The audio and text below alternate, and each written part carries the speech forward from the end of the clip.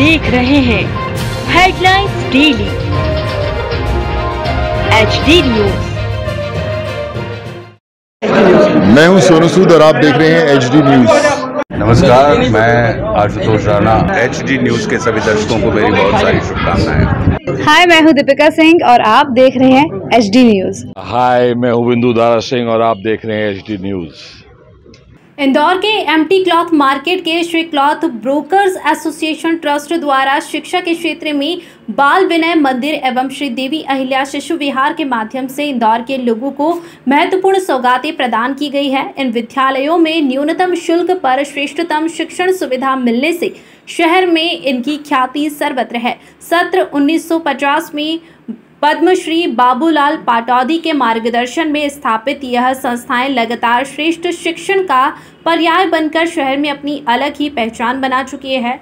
Shri cloth brokers association trust के तत्वाधान में तीसरे विद्यालय के रूप में शहर के दक्षिण क्षेत्र के लोगों की सुविधा को ध्यान में रखते हुए कैट रोड पर सूर्य मंदिर के पास ट्रेजर फैंटेसी कॉलोनी में एक लाख स्क्वायर फीट के भूखंड पर नवीन विद्यालय के लिए बुधवार को भूमि पूजन और निर्माण कार्य का शुभारंभ हुआ। श्री क्लॉथ ब्रूकर्स एसोसिएशन के अध्यक्ष हंसराज जैन एवं Shri cloth brokers association trust के अध्यक्ष भानु कुमार जैन ने बताया कि संस्था के वर्षतम न्यासी श्री वल्लभ दास नीमा के कर कमलों से भूमि पूजन के साथ निर्माण कार्य का शुभारंभ हुआ। यहाँ पर अगले शिक्षण सत्र से नर्सरी से प्राइमरी तक की कक्षाओं के लिए शिक्षण शुरू करने की योजना है। इसके पश्चात हायर सेकेंडरी तक स्कूल का संचालन शुरू होगा। एसोसिएशन के कार्यकारिणी सदस्य सुभाष गंगवाल ने बताया कि विधि, विधान एवं मंत्रोच्चार के साथ भूमि पूजन के पश्चात सूर्य मंदिर स्थित भास्कर हॉल में स्नेह भोज का आयोजन भी किया गया। इस अवसर पर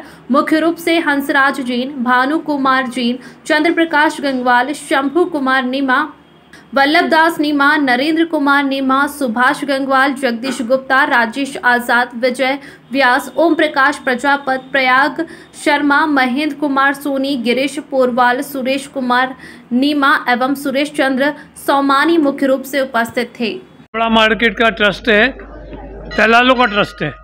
जो कपड़े की दलाली करते हैं, उन लोगों को आदरणीय पाटोदी जी ने करीब सौ नब्बे साल पहले संगठित किया। हमारे दो स्कूल ऑलरेडी इंदौर शहर में चल रहे हैं। उन बाल विनय मंदिर छतरी बाग और देवी अहिल्या शिशु विहार राजस्व के राम छतरी बाग अब ये तीसरा स्कूल हम लोग टेजर फैंटेजी में भूमि पूजन आज किया है। वहाँ पर ज़मीन खरीदी है ट्रस्ट ने। करीब एक लाख चार हज़ार फीट ज़मीन है। वहाँ पर हम नर्सरी से लेकर हायर सेकेंडरी तक का स्कूल का निर्माण करेंगे, जो कि इंदौर शहर के वासियों के लिए अपनी सेवाएँ प्रदान करेगा। आज इसका भूमि पूजन हुआ है किस तरह से पूरा संपन्न हुआ और कितने लोग इसमें उपस्थित थे आज? आज भूमि पूजन में हमारे कपड़ा मार्केट के सब वरिष्ठ लोग थे।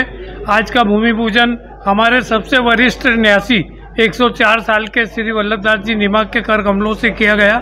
उसमें हम सब लोग सम्मिलित थे। हमारे दोनों स्कूल के स्टाफ भी थे और कपड़ा मार्केट के वरिष्ठ लोग इसमें शामिल हुए। स्कूल का नाम क्या रहेगा ये स्कूल का नाम अभी हमने सोचा है सोच रहे हैं स्कूल का नाम रखेंगे। और स्कूल का कोई नाम अच्छा सा ही रखेंगे। हमारे क्लॉथ मार्केट एसो की जैसी परंपरा रही है, उसी तरह हमारे क्लॉथ ब्रोकर्स एसोसिएशन ने भी सामाजिक क्षेत्र में शैक्षणिक सुविधाएँ देने का काम आदरणीय पद्मश्री बाबूलाल जी पाटोदी के मार्गदर्शन में लगभग 1950 से प्रारंभ किया था।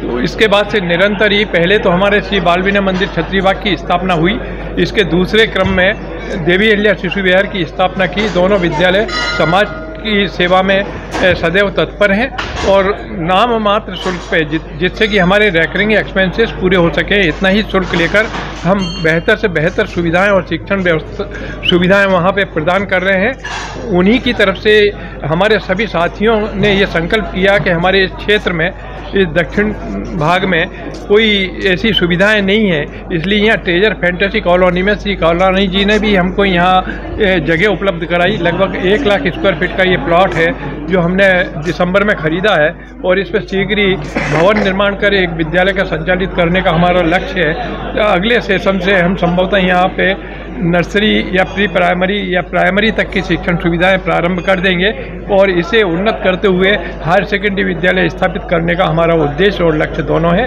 जो सभी लोग बहुत ही समर्पित भाव से काम करते हैं, जिनके सहयोग और समर्पण से ये काम हम अतिशीघ्र ही पूरा करके और अपनी सेवाएँ देना चालू कर दें।